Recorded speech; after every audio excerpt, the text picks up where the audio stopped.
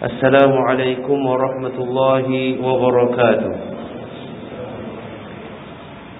الحمد لله والصلاة والسلام على رسول الله وعلى آله وصحبه ومن والاه Muslimin dan muslimat dirahmati Allah uh, Kita dah selesai muka surat yang ke 300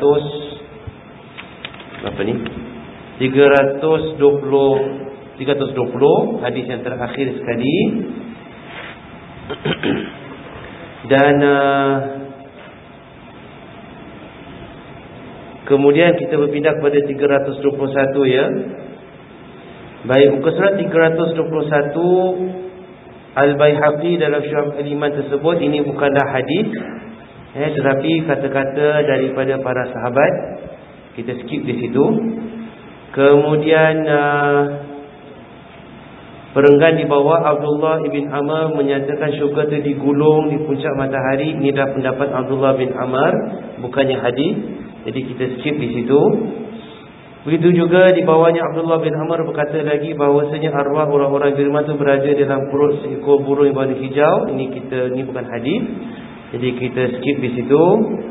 Dan uh, perenggan kedua sebelum akhir itu adalah hadis Rasulullah SAW. Melalui beberapa jalan diriwayatkan hadis daripada Abu Hurairah radhiyallahu anhu. Dia berkata bahawa Rasulullah sallallahu alaihi wasallam pernah bersabda, anak orang-orang anak-anak orang-orang yang beriman itu berada di sebuah gunung di syurga. Mereka semua ditanggung oleh Ibrahim dan Sarah sehingga mereka dikembalikan kepada orang tua mereka pada hari kiamat kelak.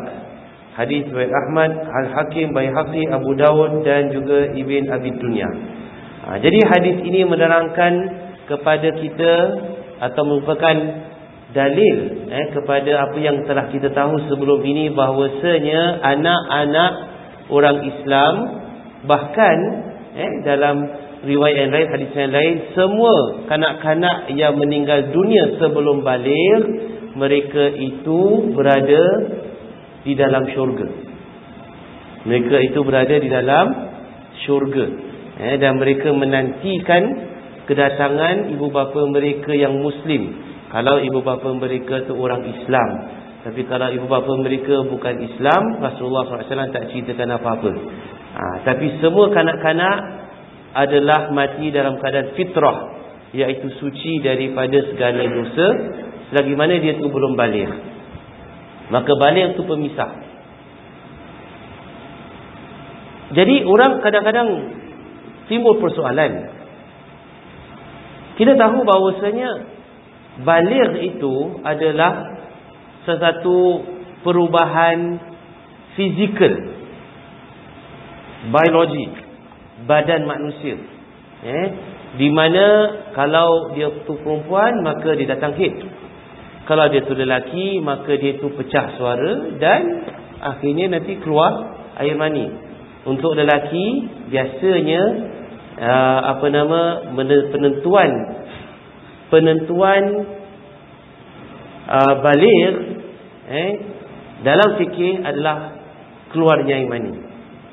Tetapi itu bukannya penentuan dari sudut biologi. Sebab kematangan bukan masalah. Kita cakap pasal pasal matang lah. Kita cakap baliknya seorang budak lelaki tersebut ialah apabila suaranya pecah. Daripada halus kepada kasar. Daripada suara seperti wanita, seperti perempuan kepada suara seperti lelaki. Ha, itu petanda balik. Kerana apa? Kerana tak semestinya seseorang itu, seorang kanak-kanak itu bila balik sampai umur dia balik dia keluar mani. Tak semestinya. Sebab kalau sekiranya ada kegairahan ataupun dia bermimpi atau sebagainya maka keluar. Jika tidak dia tak keluar. Kadang lambat keluar. Ya, umur dia 15, 16 baru keluar mani. Sedangkan suara dah pecah umur 13 tahun dah. Ha. Jadi dari sudut ilmu biologi kan seseorang lelaki, budak lelaki yang maknanya dah sampai kepada umur balik ini adalah pecahnya suara. Tetapi KK tidak terima sedemikian. Kenapa fikir tidak terima? Kerananya ia bukanlah sesuatu yang dikatakan pasti budak itu balik. Bukan tanda yang uh, nyata yang tidak boleh dipertikaikan lagi. Kalau keluar air mani itu tak boleh dipertikaikan lagi. Memang keluar air mani. Tapi kalau suara pecah itu dalam fikir dia sama-samar. Kenapa sama-sama? Kerana mungkin budak tu serak suara. Ha, dia bukan balik tapi suara dia serak ataupun dia kena penyakit atau sebagainya. Maka Islam dalam Islam hukum mestilah berdasarkan kepada yang perkara yang tidak boleh dipertikaikan yang tidak sama-samar mesti jelas. Ha, jadi kerana itu walaupun dari sudut badaji eh, budak lelaki itu balik dengan pecah suara tapi dari sudut apa nama Islam tetap keluar mani walaupun suara itu dah pecah dah lama. Kita anggap keluar mani itu pemisah antara dia tanggung dosa ataupun tidak tanggung dosa dari sudut fikir dari sudut fikir ini saya cakap dari sudut hukum fikir eh di sisi Allah Subhanahu Wa Taala berbeza. Kerana kalau kita kata ya dari sudut fikir seseorang itu kalau budak perempuan balik maka dia mula tanggung dosa dia dan pahalanya sendiri. Kalau dia tu keluar air mani bagi lelaki maka dia tanggung dosa dan pahalanya sendiri. Itu dari sudut hukum zahir kita fikir. Di sisi Allah Subhanahu Wa Taala berbeza. Kata kenapa berbeza? Kerana Allah Taala lebih mengetahui keadaan hamba-Nya. Seorang budak tersebut dia balik ya dia keluar mani. Ya dia keluar darah haid tapi otak dia belum lagi matang. Ataupun dia itu seorang yang low IQ macam mana nak tanggung dosa dan pahala sedangkan dia tak tahu apa dia buat tu salah atau tidak? Dalam arti kata lain dia dah balik tapi dia belum mumayyiz ha, dalam Islam ada mumayyiz eh, ada balik Normalnya Mumayyiz ini umur budak 5 tahun 6 tahun. Kadang-kadang gajir-gajir 4 tahun. Kadang-kadang gajir-gajir baru 7 tahun Mumayyiz. Mumayyiz ni adalah umur di mana seorang budak tersebut itu Dia dapat membezakan antara baik dan buruk. Maknanya dah dia cukup matang sikit lah akal dia. Kemudian baru datang balik baru tanggung pahala dan dosa. Tak semua budak macam itu Jadi ada yang balik tapi belum Mumayyiz Yang sampai kadang umur dia dah dewasa pun dia belum memayis. Kenapa? Kerana IQ dia rendah. Ataupun dia tu penyakit uh, Down syndrome sebagai contoh. Ataupun dia penyakit otak sebagai contoh. Ya, kita tak bercakap. Jadi dia belum memayis. Maka di sisi Allah, Allah SWT lebih mengetahui. Tapi kita hukumkan, okey balik awak dah tanggunglah. Eh, pahala dan dosa. Lain diserahkan kepada Allah SWT. Makanya bila kita katakan kanak-kanak itu mati masuk dalam dalam syurga. Dan kanak-kanak dari sudut hukum fikir ini ialah mereka yang belum sampai umur balik. Eh?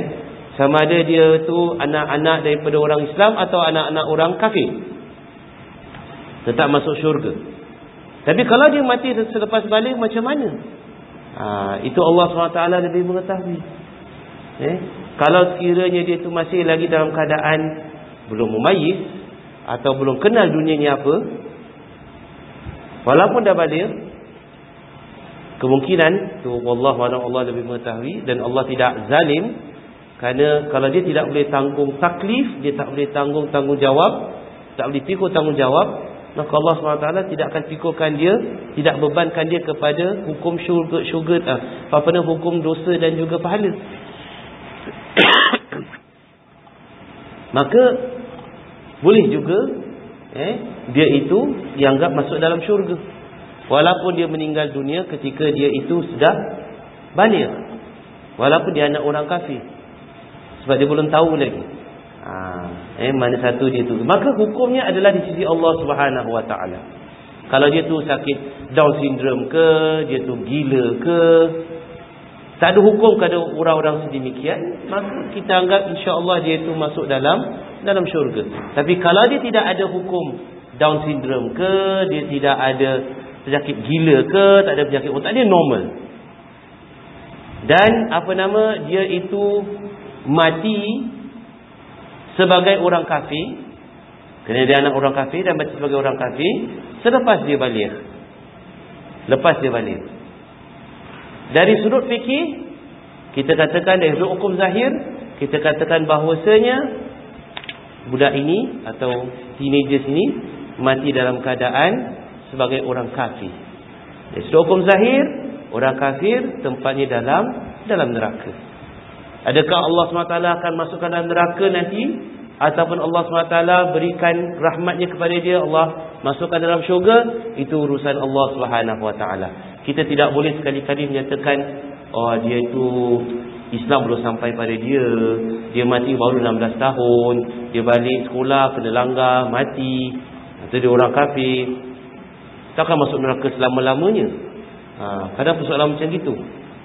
Maka ada orang pula memandai-mandai dia kata oh Ah, syurga lah dia cakap eh, sebab apa baru 16 tahun baru kali dia belum kenal Islam tu apa takkan Allah masukkan dalam neraka nah kita kena bezakan antara apa yang Allah SWT sebut dalam Al-Quran dan Rasulullah SAW beritahu kita yang kita beriman dengannya dan apa yang akhirnya berlaku kepada individu-individu tertentu. Hukum yang umum dan hukum yang khusus. Hukum yang umum kita katakan semua orang yang mati kafir selepas balik dia itu mati kafir.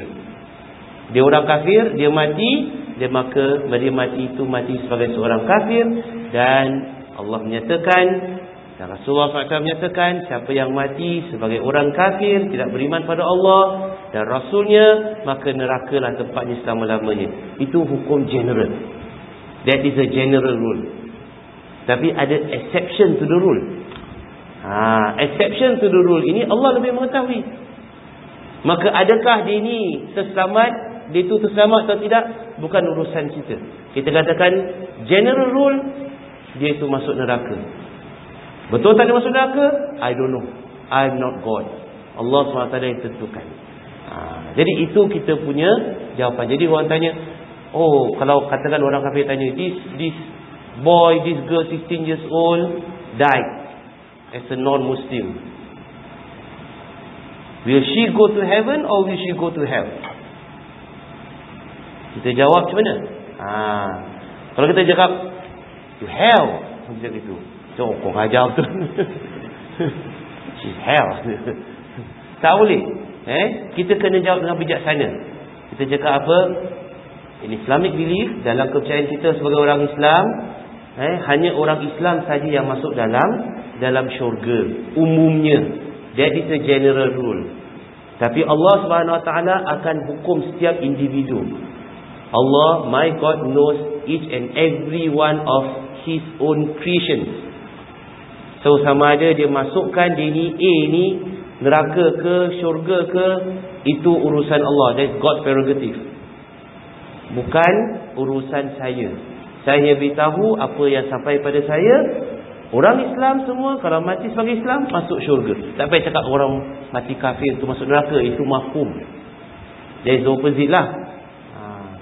Cakap, oh does it mean maknanya orang yang mati kafir itu masuk neraka? Cakap, saya cakap orang Islam masuk syurga. Awak nak tafsirkan apa-apa sepulang pada awak lah. Ha, cuma secara umumnya itu sedemikian. Khususnya individual case Allah lebih tahu. Kerana mungkin ada orang mati sebagai orang Islam tapi kena masuk neraka dahulu.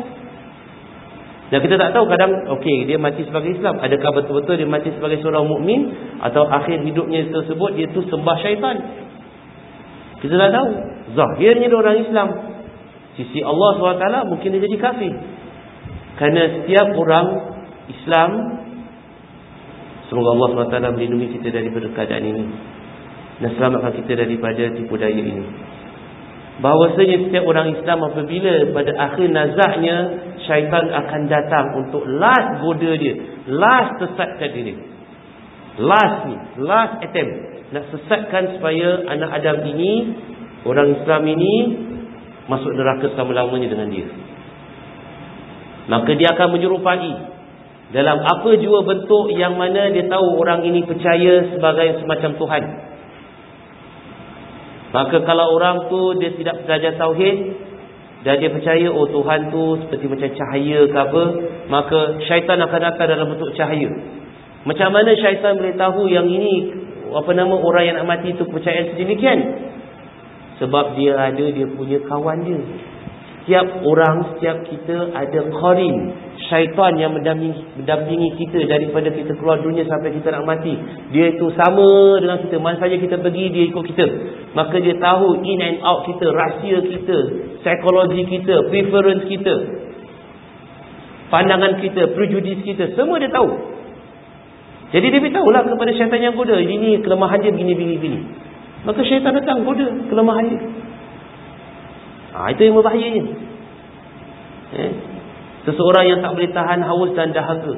Ketika mati haus nah syaitan datang. Engkau sujud saja pada aku, aku kasih kau air. Dia tahu kelemahan dia adalah sedemikian. Ha, jadi lan syaitan akan datang goda dengan attack kelemahan setiap daripada kita. Apa kelemahan kita tu? Karena itu kita banyak doa pada Allah SWT Semoga Allah matikan kita dalam kusnul khatimah Amin ya Rabbal Alamin Semoga Allah selamatkan kita daripada tipu daya dan juga godaan syaitan Yang terakhir sebelum kita keluar roh kita daripada jasad kita ini Amin ya Rabbal Alamin Jadi kalau orang yang tak belajar Tauhid Oh cahaya Tuhan maka dia sujud. Dia sujud pada syaitan, pada iblis. Habis. Dia mati dalam keadaan mensyirikan Allah SWT neraka selama-lamanya. Karena itu penting belajar ilmu Tauhid belajar tentang sifat 20 Allah. Penting belajar sifat-sifat Allah SWT itu Allah wujud, qidam, baqa yang lebih penting lagi mukhalafatu lil hawadi Allah itu menyalahi segala sesuatu yang baru iaitu segala makhluknya tidak boleh menyerupainya jadi dia bukanlah cahaya, dia bukanlah suara dia bukanlah apa juga bentuk tidak boleh tergambar dengan akal, tidak boleh dilihat dengan mata kasar, tidak boleh didengar dengan telinga. Jadi bila tahu ini datang iblis, datang attack syaitan, datang attack fatullah itu, ini semua autah. Kita tak percaya. Ha.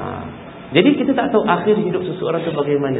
Zahirnya sebagai Muslim, hakikatnya seserah pada Allah SWT. Jadi kalau orang beritahu tanya kita, orang nak mengakal kepada kita, orang non-Muslim, orang kafir nak mengakal kita, nak uji kita, Maka kita kena pandai. Kita cakap sedemikian. Kita cakap dengan penuh diplomatik. Aku percaya Orang Islam mati dalam Orang mati dalam keimanan Masuk dalam syurga. Jadi apa cerita pada orang yang bukan Islam? Itu Kau pada pandailah Faham ha, Tapi Tak semua orang Yang mati Confirm masuk syurga Sebab apa? Sebab Tuhan akan tahu lebih keadaan seseorang tersebut jadi seseorang yang mati dalam keadaan fitrah iaitu tidak ada tanggungjawab atasnya, tidak dosa dan juga pahala atasnya, syurga tempatnya. Walaupun tu mak bapak dia adalah orang orang bukan Islam atau orang kafir. Maka di dalam syurga kalau dia tu masih kecil, bayi ke ataupun toddler ke dan sebagainya, maka Rasulullah SAW dalam hadis ini mereka itu seolah-olah macam dijaga ataupun diperhatikan jaga tak perlu masuk dalam syurga maknanya di bawah pemerhatian Nabi Ibrahim alaihi salam dan isterinya Sarah Nabi Ibrahim ada berapa isteri tuan-tuan? Ha? Ada dua dua. Eh Sarah adalah ibu kepada Nabi Yakub alaihi salam Eh salah, Nabi Ishaq alaihissalam dan Nabi Ishaq anaknya Nabi Yaqub daripada Nabi Yaqub turunlah 12 uh, kabilah Bani Israel. Eh Bani Israel ada 12 tribes. Daripada 12 anak Nabi Yaqub alaihissalam. Dan Israel itu adalah nama bagi Yaqub. Eh Nabi Yaqub ada nama kedua iaitu Israel. Jadi kalau kata Nabi Israel pun boleh juga eh sebab Israel itu nama kedua Nabi Yaqub. Ha, daripada Hajar keluarlah keturunan orang-orang Arab Quraisy, eh, Nabi Ismail dan akhirnya kepada Rasulullah wasallam. Tapi yang jaga dalam syurga adalah Sarah bersama Nabi Ibrahim disebut di sini. Di manakah Hajar? Tak perlu kita tahu. Eh, kata kenapa bukan Hajar? Kenapa mesti Sarah? Itu Allah SWT nak apa kita nak buat? Awak tanya soalan yang yang tak boleh nak dijawab. Itu kan dah Allah. Ha. Dan ini ada dalam hadis. Dialah. Ha, maka Nabi Ibrahim dan Sarah mereka itu memerhatikan anak-anak uh, orang Islam terutamanya yang meninggal dunia ketika mereka itu kecil. Dan anak-anak ini menunggu orang tua mereka sehinggalah hari kiamat nanti. Apabila orang tua mereka masuk dalam syurga kerana mereka itu insya-Allah mati dalam keadaan beriman apabila masuk dalam syurga mereka akan bertemu dengan anak-anak mereka. Ha, jadi mereka yang kematian anak-anak ketika kecil kalau nak jumpa anak tersebut jaga keimanan kita Cuba usaha kita ni dekatkan diri pada Allah Taala. Semoga dengan demikian kita ini dah mati dalam husnul khatimah dan semoga dengan demikian kita ini tidak diazab dalam neraka agar kita dapat cepat masuk dalam syurga dan cepat bertemu dengan anak-anak kita kerana mereka menantikan kita di sana. Kalau orang tanya dia menantikan kita dalam umur berapa tahun? Kalau katakan budak tu mati umur 2 tahun, Adakah dia menanti kita dah umur 2 tahun ke 20 tahun ke 30 tahun ke dalam syurga? Apa jawapan dia? Jawapan dia ialah Wallahu alam. Senang. Sebab tak dia beritahu kepada kita.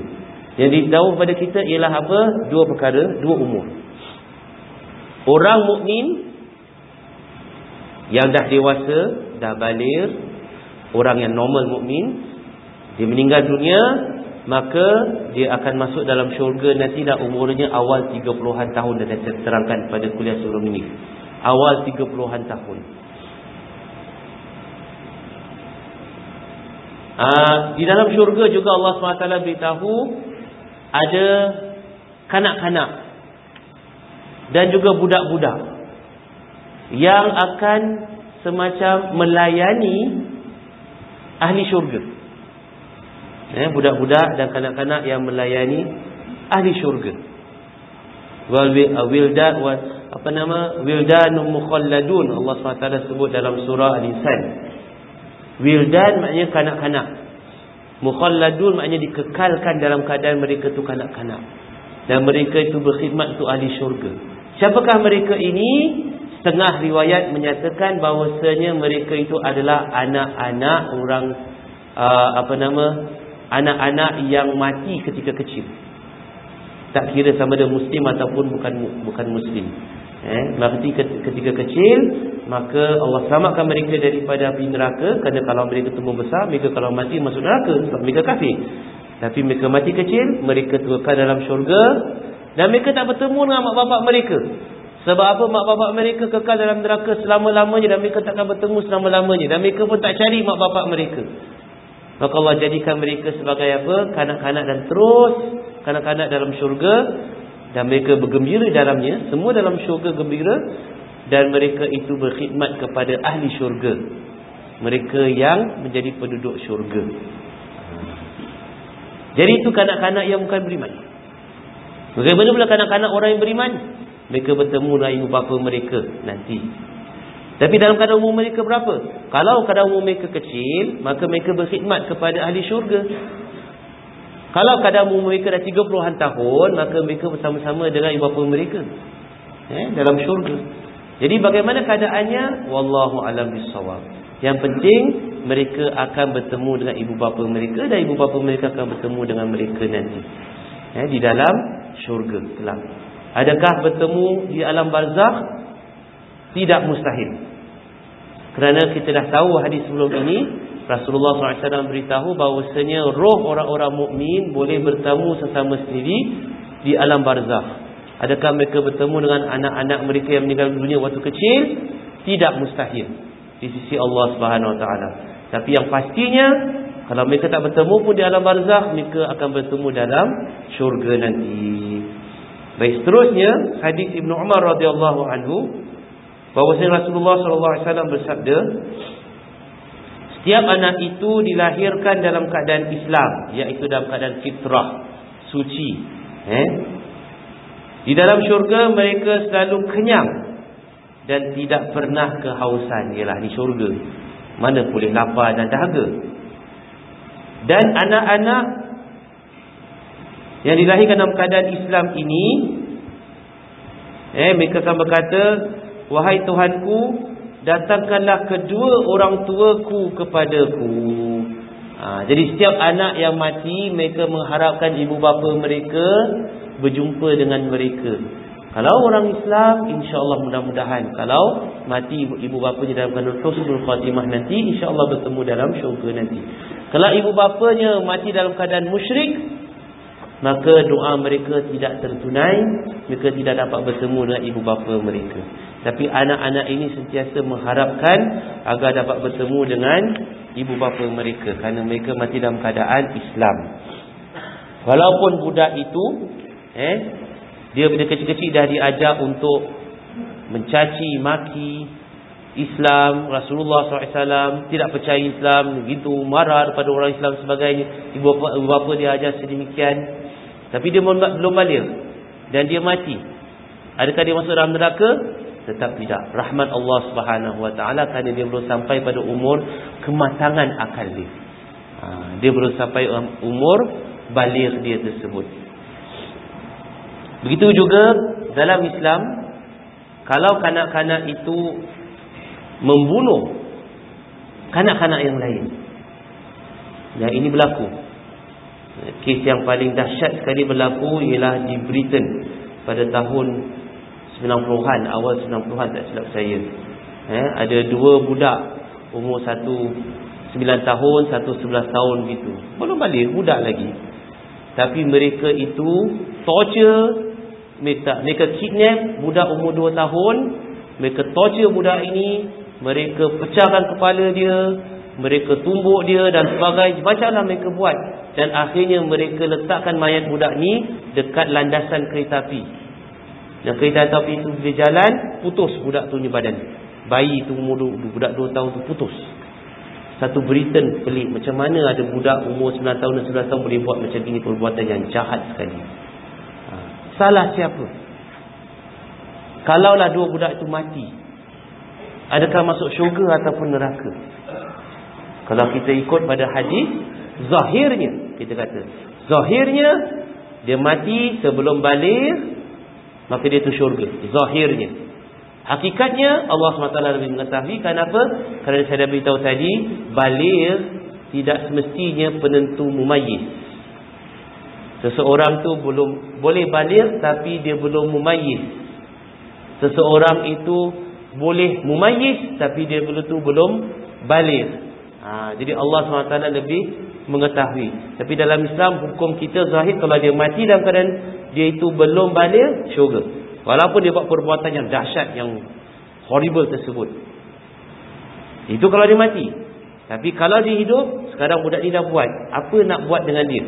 Ketika tersebut Britain Orang-orang di British tersebut Lawyer siapa garuk kepala Apa kita nak buat budak ini Kita nak jatuhkan hukuman seperti orang dewasa Dia itu masih budak lagi Kita nak masukkan budak ni dekat Bukan sekolah apa nama Ataupun boys home ke apa semua Dia masih lagi Macam mana kita nak buat dengan dia Masukkan jail ataupun tidak Debate yang dahsyat ha. Kerana ini dua budak belum balik lagi dalam Islam cara penyelesaiannya straightforward. Budak ni belum balik. Dan kita ikut hukum zahir. Kalau belum balik, maknanya awak belum memayis. Itu zahirnya. Mungkin dah memayis, kita tak tahu. Okay? Kita tak nak cek pun. Belum balik, belum memayis. Awak buat perbuatan yang jahat ini, sudah pasti awak kena kena denda. Dan hakim boleh denda dia dengan apa? Masukkan dia di dalam sekolah reform ke apa training ke apa tapi untuk masukkan dalam jail tak boleh sebab dia masih budak lagi jadi hukumannya sepatutnya kepada siapa ibu bapa dia kerana ini kegagalan ibu bapa dia untuk mendidik budak tersebut. Kerana Islam tu jelas.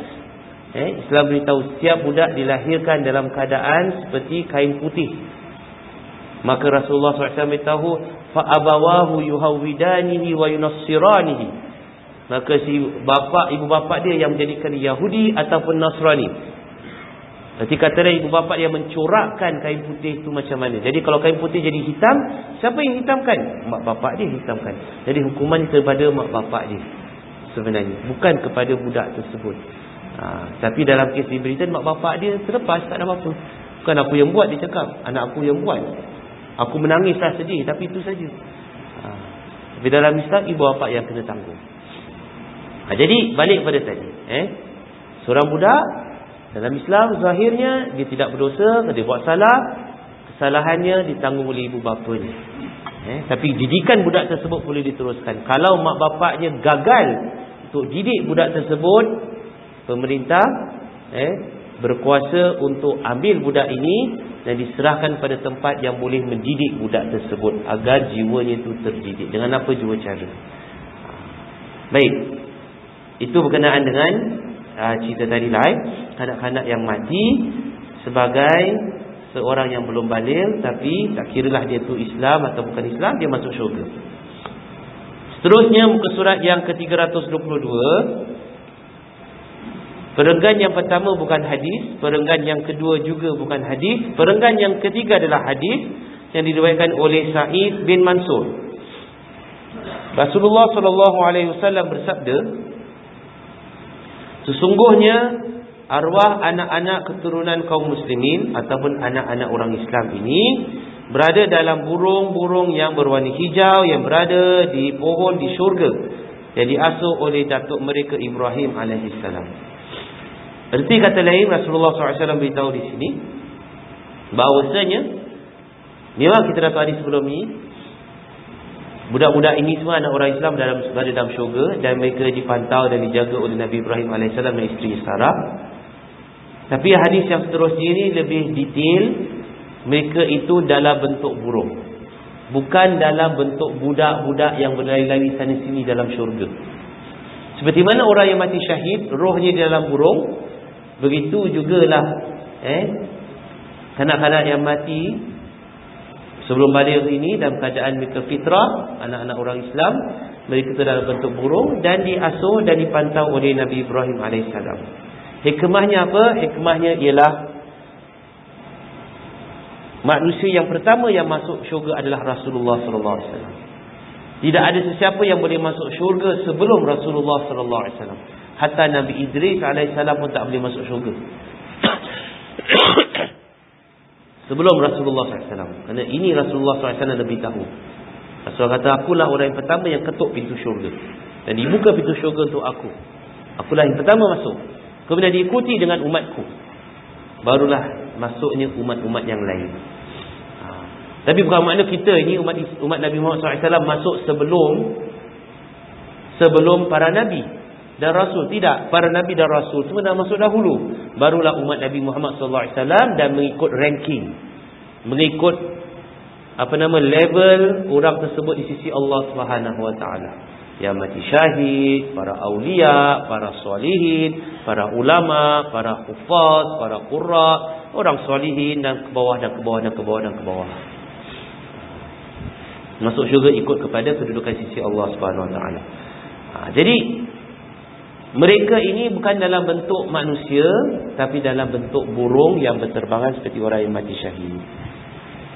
Baik seterusnya Perenggan yang bawahnya juga bukan hadis Dan seterus sampai bawah adalah bukan hadis. Kita pindah kepada muka surat 323 Semuanya bukan hadis Melainkan yang paling bawah sekali Perenggan yang terakhir Itu adalah hadis Rasulullah SAW Ummu Kabsyah Ibn Ma'rur berkata Rasulullah SAW pernah masuk menemui kami. Lalu kami bertanya mengenai arwah-arwah ini. Maka Rasulullah SAW menyebutkan kriteria Tapi beliau menangisi Ahlul Bait. Ah, Saya dah baca dalam dalam hadis yang asal. Dia tidak dalam hadis yang asal Rasulullah SAW Atau dalam hadis asal tidak sebut tentang Ahlul Bait. Tidak ada. Eh Ha, jadi ini tak tahu di mana-mana tambahannya lah. Tapi Rasulullah SAW kita lihat bersabda apa seterusnya di sini. Sesungguhnya arwah orang-orang yang beriman itu berada di dalam perut burung berwarna hijau. Seperti hadis sebelumnya. Yang dipelihara dalam syurga oleh siapa? Nabi Ibrahim AS. Dijaga dia dipantau. Mereka memakan buah-buahan syurga. Meminum air syurga serta kembali ke pelita yang terbuat daripada emas yang berada di bawah arash. Jadi sama keadaan mereka dengan roh orang yang mati syahid berperang jalan Allah SWT. Dan budak-budak ini, kanak-kanak mati sebagai orang Islam ini, mereka berkata, Ya Tuhan kami, pertemukanlah kami dengan saudara-saudara kami. dan berikanlah apa yang telah engkau janjikan kepada kepada kami. Ha. Jadi kanak-kanak ini dan roh-roh yang ada dalam syurga ini mereka berdoa apa? Wahai Tuhan kami, pertemukanlah kami dengan saudara-saudara kami. Jadi anak-anak ini nak bertemu dengan mak bapak dia, adik-beradik dia, eh, yang mana mereka tinggalkan di dunia, mereka rindu dan mereka nak jumpa. Dan berikanlah kepada kami apa yang telah engkau janjikan kepada kami. Apa janji Allah SWT? Allah SWT berfirman dalam surah Tur. Apa dia? والذين آمنوا واتبعتهم ذرياتهم ألحقنا بهم ذريتهم وما ألتناهم من عملهم من شيء كل امرئ بما كسب رهين bermaksud apa orang-orang yang beriman yang mati dan diikuti oleh zuriatnya yang beriman juga yang mati eh, jadi mereka beriman zuriat mereka beriman kedua-dua mati alhaqna bihim zurriyatahum Allah akan pertemukan mereka dengan zuriat mereka. Jadi zuriat akan bertemu dengan mak bapak, mak bapak akan bertemu dengan anak dan adik-beradik dan sebagainya yang beriman. Alhaqna bihim zurriyatahum wa ma alatnahu min amali min syai. Dan kami tidak akan kurangkan sedikit pun daripada amalan mereka, amalan soleh mereka. Jadi kita setiap kali kita melakukan amal soleh, kita berkeyakinan 100% bahawasanya amalan kita Allah akan berikan pahala. Dan Allah tak kurangkan pahala tersebut. Cuma kita tak nampak. Allah tak kurangkan. Tapi yang kurangkan pahala kita adalah diri kita sendiri. Kita dah kumpul pahala banyak-banyak, Allah tak kurangkan. Allah akan berikan pahala seperti mana Allah janjikan berganda-ganda. Tapi kita yang kurangkan pahala kita. Dengan cara apa? Cara kita lakukan maksiat. Maka pahala kita berkurangan. Kita yang menzalimi diri kita. Dengan cara apa lagi kita mengurangkan pahala kita? Dengan cara kita menzalimi orang lain. Kita memakan hak orang lain. Perbuatan kita menyebabkan orang lain merana. Maka akhirat nanti akhirat nanti mereka boleh tuntut pahala kita ha. jadi kita kena usaha mudah-mudahan pahala kita tidak berkurangan dengan perbuatan kita. Eh, banyakkan istighfar kepada Allah SWT dan terus kita ni beramal soleh dan kejar buru pahala kerana sudah pasti, sudah pasti nanti orang akan tuntut pahala kita di akhirat nanti. Sudah pasti kita akan kurangkan pahala kita dengan dosa-dosa kita. So kita kena sentiasa buru pahala yang banyak. Kejar amalan yang mendatangkan pahala yang banyak untuk kita. Orang kata kenapa awak amat saya nak pahala? Eh, tak boleh awak amalkan Allah SWT. Tak jadi hal. Memang kita beramal untuk pahala. Kerana kalau kita beramal untuk pahala, kita beramal untuk Allah SWT. Kerana kita takutkan azab Allah. Kerana itu kita itu kejarkan pahala. Itu maknanya kita beramal untuk Allah Subhanahu Wa Taala. Ha, jadi lama kelamaan nanti baru kita punya niat nak kejar pahala tu berubah kepada apa? Kepada niat memang cintakan ibadat tersebut. Nah, sukakan ibadat tersebut. Tapi mesti start dengan sesuatu yang bisik. Buat kan nak pahala. Nak terus buat buat apa tak? Nak pahala, nak pahala, nak pahala. Tak apa terus buat. Nama-nama cinta. Bila cinta tak fikir lagi pahala. Macam orang pergi kerja. Asal pergi kerja? Saya nak gaji. Asal kerja overtime? Saya memang nak gaji lagi banyak. Itu memang tujuan dia. Salah? Tak salah. Tapi bila dah suka pada perbuatan tersebut, bila suka pada kerja tersebut, overtime tak kasih gaji pun tak apa because I love this job. Ha, I contribute more than what expected. Ha, ini sebab dah cinta. Jadi begitu juga amalan-amalan kita. Ha, jadi apa nama zuriat orang soleh ingin bertemu dengan ibu bapa mereka yang soleh. Manakala Rasulullah SAW beritahu di sini orang-orang yang kafir, ni bukan anak-anak Islam eh ataupun anak-anak yang mati kecil. Orang-orang kafir biasa secara umumnya antara azab mereka ialah apa? Mereka itu berada dalam perut burung berwarna hitam dan mereka berada dalam neraka. Belum masuk neraka dan mereka dah berterbangan dalam neraka. Mereka makan dan minum api serta kembali ke batu yang ada dalam neraka tersebut. Dan mereka berkata, Wahai Tuhan kami, janganlah engkau pertemukan kami dengan saudara-saudara kami. Dan jangan pula engkau datangkan apa yang telah engkau janjikan kepada kami. Takut. Sebab mereka tahu kalau hari kiamat mereka akan dapat rasa full blast azab dalam neraka. Sekarang baru sikit-sikit mereka dapat rasakan azab neraka tersebut. Jadi mereka doa pada Allah. Dah nampakkan inilah nasib mereka diazab dalam alam barzah lagi. Maka mereka doa supaya janganlah mereka itu dapat apa yang telah janjikan pada mereka. Tapi tak guna. So Allah dah janjikan. Allah tunaikan janji. Eh? Dan janganlah kau pertemukan dengan saudara-saudara kami. Kenapa? Mungkin banyak sebab. Kalau saudara mereka itu orang Islam, mereka malu. Kalau saudara-saudara mereka ni orang kafir, mungkin mereka tak sanggup lihat saudara mereka diazab juga seperti mereka. Mungkin wallahu alam bisawab. Eh, tapi yang penting mereka tak nak bertemu dengan saudara mereka. Mungkin mereka benci saudara mereka sebab kerana saudara mereka, kerana ibu bapa mereka, mereka mati dalam keadaan kafir. Mungkin juga eh, Dan mereka tak mahu azab tersebut menimpa mereka. Jadi semoga Allah subhanahu wa ta'ala Menjadikan kita daripada kalangan mereka Yang insya Allah mendapat nikmat di alam barzakh nanti. Amin amin ya rabbal alamin. Wallahu alam bisawab